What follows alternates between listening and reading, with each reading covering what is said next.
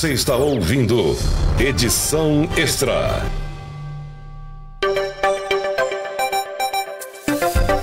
Nesse final de tarde de terça-feira, temperatura aqui em Francisco Beltrão é de 27 graus e 6 décimos e nós seguimos nesta semana e também na próxima, afinal de contas, Agora são 17 cadeiras, né, no Legislativo de Francisco Beltrão e a gente trouxe como um compromisso aqui convidar a todos eleitos, reeleitos para vir falar aqui com seus eleitores, mas também para falar para toda a população de Francisco Beltrão, né, como receberam a notícia da eleição ou reeleição, mas também, obviamente, projetar como será o mandato, né? Temos aqui o prazer de receber Bruno Savarro, eleito pelo PL com 749 votos e que conversa com a gente aqui. O Bruno que tem uma história já conhecida, já conhecida dos ouvintes do Onda Sul, pelo período também que teve a coordenação do PROCON. Bruno, parabéns aí pela, pela eleição. É, como é que você acompanhou? Como é que tem sido aí esses primeiros dias também? Boa tarde. Boa tarde, Lucas. Boa tarde, amigos ouvintes da Rádio Onda Sul. Primeiro, falar que é uma alegria retornar aqui, agora como vereador eleito. Vocês que deram tanto espaço para nós no tempo do Procon, no tempo anterior ainda, quando eu era um ativista político do MBL, é, vocês, vocês foram é, importantes peças, import, uma importante é, parte dessa engrenagem aí que, que culminou hoje nessa eleição. Os primeiros dias, alguns estão sendo, mais, sendo mais intensos do que a campanha. É verdade. É conversa, é visitar amigos, é visitar familiares, mas agora com, com a sensação de dever cumprido. Agora ciente de que a partir do ano que vem a responsabilidade aumenta. Daqui até o final do ano é festa, é agradecer, Sim. parabenizar. A, na virada, a partir da virada do ano, aí, aí o jogo muda e, e a responsabilidade de fazer um bom trabalho, ela cresce. No teu caso, especificamente, essa, essa vontade de fazer parte da política, de fazer, de repente, compor é, o legislativo, começou há um bom tempo já, né? Muito jovem, inclusive, né, Bruno? Sim, faz tempo. Eu, eu, eu costumo dizer que eu fui picado pela, pelo, pelo inseto da política com 10, 11 anos de idade. Bem cedo, então. Muito cedo.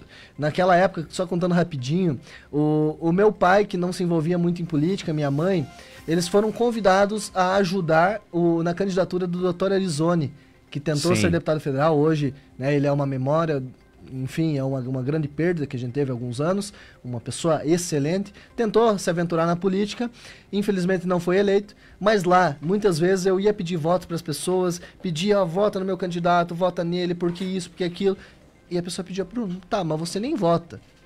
Não, mas eu não sei, não sei porque eu tô te pedindo voto, mas uhum. vota nele, confia nele. E naquele momento eu falei, eu gosto desse negócio, eu gosto disso, de pedir voto, de conversar com as pessoas. Foi quando ali em 2012 participamos da eleição, daí foi uma sucessão. Toda eleição a gente participava eu não família. tinha mais volta ali, não né? Não tinha mais volta. Ali eu já, já tinha sido infectado, no bom sentido. e aí, em 2017, surgiu a possibilidade, a oportunidade de trazer o MBL para Beltrão. E ali eu, eu comecei um ativismo político mais ideológico. Uhum. Aí na, na parte do, do, liberalismo econômico, do conservadorismo e tudo mais. Deu aquela, aquela, aquele momento fez com que me viesse o desejo de ser candidato. Tanto que fui candidato a vereador em 2020. Sim. Fiz 333 votos, eh, dos quais tenho muito, muito orgulho. Porque foi uma campanha, quando eu tinha 21 anos, foi uma campanha sem recurso financeiro, sem grandes apoiadores, sem cabo eleitoral trabalhando sem, é, durante o período de pandemia, eu estava em faculdade na época, hoje eu sou advogado, uhum. sou tenho advogado formado com a OAB, mas na época eu era um estudante de direito. Então, não perdi uma aula para fazer campanha. Eu decidi lançar meu nome naquela, naquela ocasião para testar, para ver Sim. como que ia, se eu ia ter rejeição, se eu ia ter aceitação ou não. Foi uma boa votação. Foi uma boa votação né? para o um iniciante que, que, sem recursos, sem grandes expectativas naquele momento, foi excelente. Uhum foi quando, ali em 2023, o prefeito, aliás, 2022, o prefeito Kleber me deu a oportunidade de ser diretor do PROCON. Uhum. Ainda antes, eu tinha, tinha sido convidado para compor o governo em 2021 para fazer outras funções. Foi quando eu ganhei ali a confiança do prefeito Kleber, que depois veio a confiar em mim novamente, sendo diretor do PROCON e viabilizando. Meu nome se tornando, então, um nome mais falado na cidade. Uhum. Tinha dias que só se falava no, na, em alguma ação do PROCON.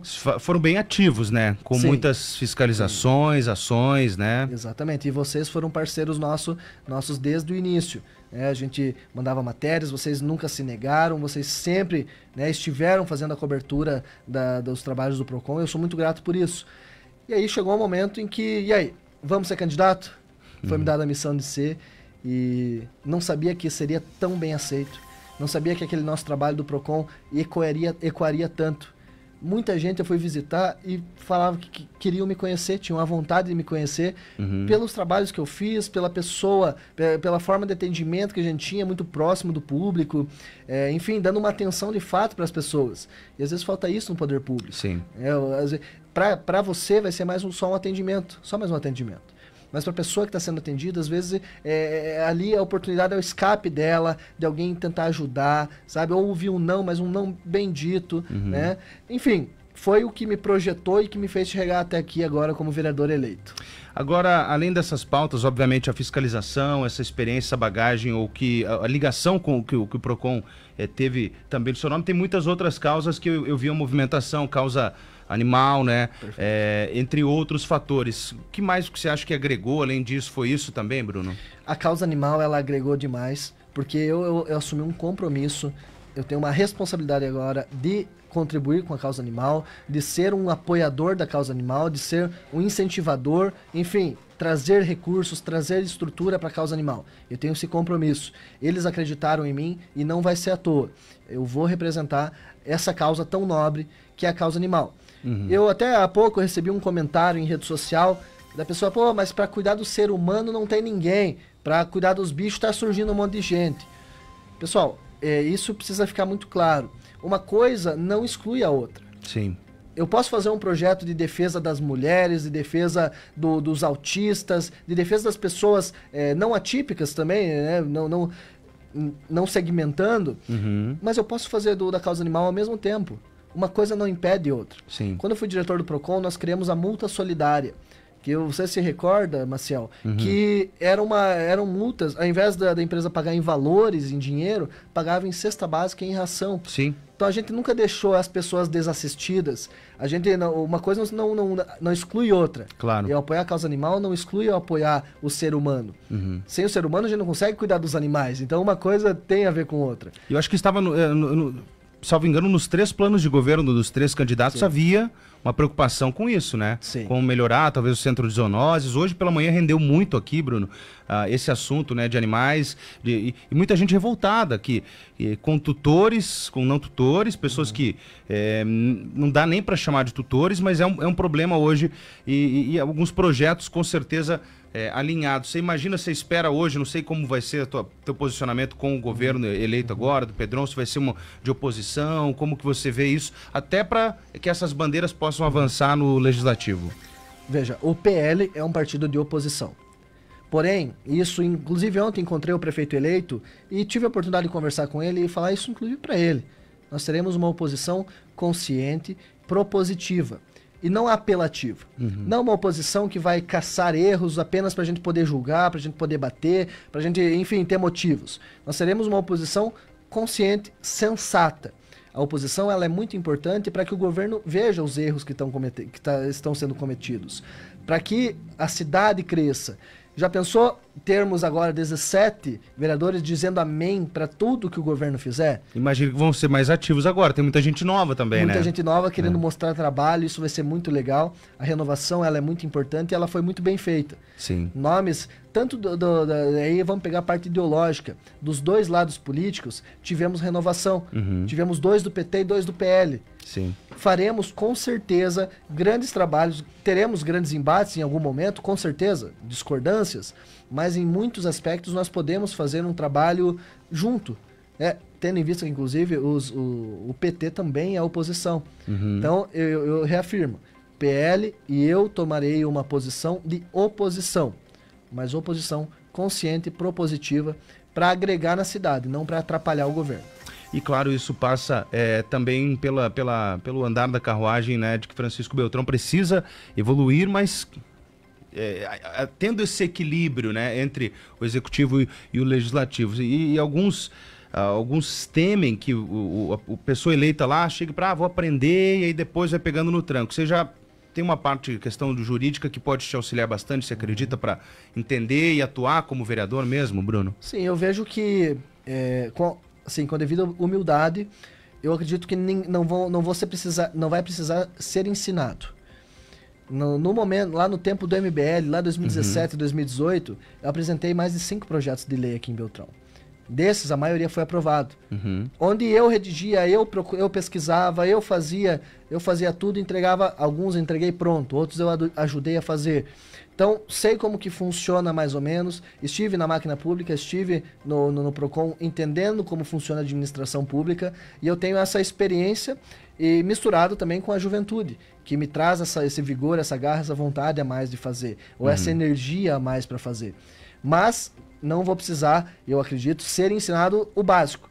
Claro uhum. que a gente vai aprender no decorrer com os mais experientes, com aqueles que contribuíram já com a nossa sociedade, isso Sim. com certeza. Talvez o fato assim de muitos, muitos que estão lá estão representando, mas delegam funções para assessores ou para o jurídico, exatamente, né? Exatamente. E, e, às vezes não, não, assinam o projeto, não. Você quer participar então eu, com da certeza, toda com certeza eu quero participar né? e eu, eu ser o, o, o principal elo ali, o, o principal agente uhum. né, do, dessa, dessa, dessa questão da, da formalização das leis, da, da escrita delas, enfim, de todo, todo o andar eu quero participar e vou participar, até porque minha formação é, acadêmica me dá essa, essa possibilidade, Sim. Né? e também a, a experiência que eu tive nesse tempo também me dá essa possibilidade. Que legal. Bruno, eu que acompanho teu trabalho há muito tempo, fico feliz aí que é, os projetos e essa ambição é, pessoal, mas pensando no coletivo, uhum. tem avançado na tua carreira, fez um excelente trabalho, viu, no, no PROCON. Obrigado. A gente teve, teve é, ótimos coordenadores do PROCON aí recentemente, muita atenção a gente está tendo também com a, com a, tua coordenadora agora, sabe, muito é, ativa também. Então, uhum. parabéns e parabéns pela eleição. Acredito que é, a expectativa, sem dúvida, é muito alta em torno do seu nome. A gente vai estar tá acompanhando durante as sessões aí, que você tenha é, um bom mandato como vereador. Obrigado, Lucas. Obrigado pela oportunidade que a Rádio Onda Sul sempre nos dá contem comigo. É, e uma coisa que eu, que eu preciso deixar, deixar aqui é uma informação para a população. Uhum. O PL tem dois vereadores em Beltrão.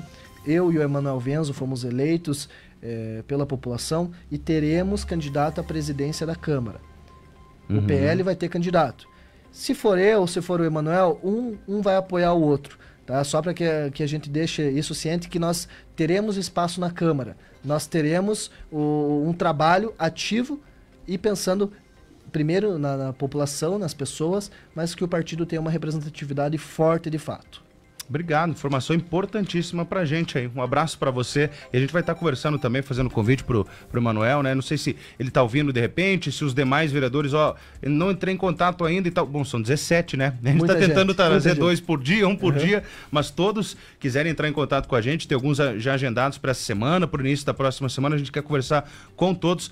Obrigado mais uma vez, um abraço, Bruno. Muito obrigado, um abraço, bom trabalho para vocês e me cobrem. Vamos fazer um excelente trabalho. Estaremos com certeza acompanhando aí. Já tem umas demandas chegando aqui, já vou passar pro Bruno, mas só a partir do dia primeiro que a coisa vai de Ótimo. fato começar, mas já Muito dá para começar o trabalho, né, Bruno? Vamos, vamos, vamos em frente. Valeu. Agora 5h31.